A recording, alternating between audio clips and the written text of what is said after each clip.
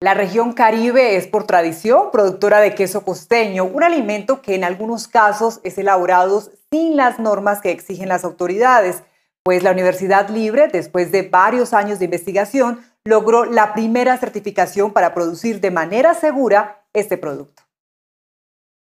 Desde hace 12 años, la Universidad Libre en Barranquilla, en convenio con la Secretaría de Salud y la Gobernación del Atlántico, trabaja por la certificación oficial para la producción del queso fresco costeño artesanal. El queso costeño ya tiene marca de certificación.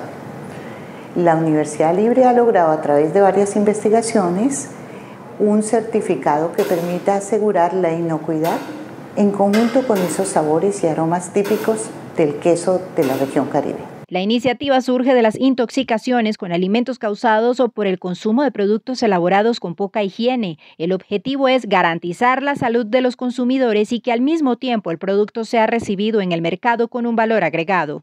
Se ha socializado la información de la investigación y del modelo de certificación con los diferentes queseros del Departamento del Atlántico y se ha invitado también a los productores de leche para que ingresen en este nuevo modelo de negocio. La marca de certificación se denomina Quesule, que significa queso limpio en lenguaje indígena del Caribe colombiano. Queso limpio porque se elabora con leche pasteurizada y a través de un proceso protegido por secreto industrial se restituyen los sabores y aromas del queso típico costeño. Una iniciativa para que los productores adopten métodos seguros. Es importante reconocer los esfuerzos por innovar que se desarrollan en la región Caribe.